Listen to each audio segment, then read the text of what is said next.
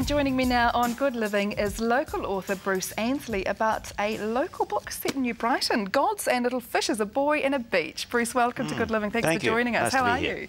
Good. You'll be pleased the book's out and, and everybody's really enjoying it. Well, I hope they are. It was certainly fun to write. Yeah? Fun to live there too. Yeah, but, uh, you love it, don't you? I do. That's one it's of the things. Um, just having a look through the book, Bruce, is the the amazing little facts and things about New Brighton that really was such a huge place for New Zealand, wasn't it, when it was up and it running was, in its heyday? It was. Uh, I mean, it was. I think the most prosperous place in the in the country, uh, the busiest place. It was Saturday shopping, of course, that did it. Mm. And uh, we all thought it was just because it was a great and glorious place, of course, right beside the sea.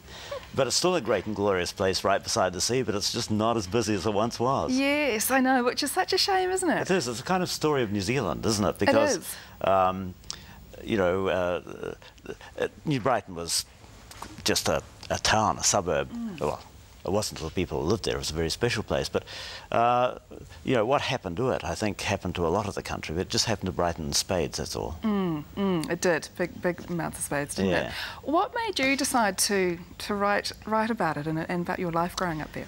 Well, I talked to so many people about things that had happened in New Brighton and, um, and were still happening. And... Um, uh, uh, you know, most people said, "Oh, that's kind of outrageous." You know, did that? Oh, that didn't really happen. Blah blah yeah, blah. you're blah. pulling my leg. And it did. And but then um, an old friend of mine, Alan Coburn, whose family owned Gracie's, which was one of the oldest businesses in New Brighton. It, it started before the, the, Second World War, and Alan was the, the third generation of that family. Uh, who was running the shop. It was under a different name, but it was still the same shop in the same place. Mm. And um, he was the longest surviving New Brighton businessman, the last one left of the good old days, really. And he was going out of business. And uh, earlier this year, he actually did. The shop finally closed, and the staff left, and uh, it's now Quiksilver. Um, uh, right. but nonetheless, it's uh, and he left, and that just seemed to me to mark the end of a, an era. Mm. And uh, and it didn't look like anybody else was going to rush in and write about New Brighton, so I did. So you did? How long did it take?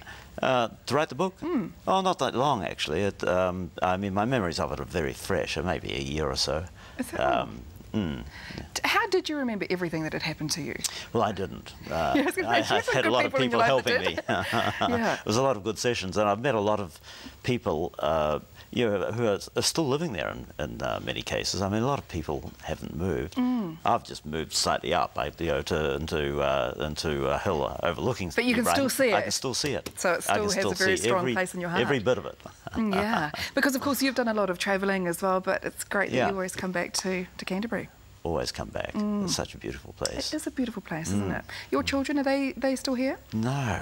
Are they going to come back? Uh, I don't think so. They they live in Auckland. Oh, do they? And um, one of them owns, well, they own a restaurant here, a place called Wagamama's in mm. Oxford Terrace. Oh, right. It's, uh, so, but apart from um, that, uh, they, they don't show all that much interest in Christchurch, really. one day, one day they'll see the light again. I yeah. just wanted to quickly ask you as well, what was it like working on the Sun uh, newspaper in the London? Sun. Oh, Did you get to write any of those crazy headlines? No, I didn't even get to see the page three girls. Really?